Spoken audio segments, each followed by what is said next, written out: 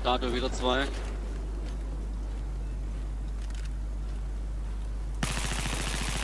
Oh, was ist das denn für ein Leck?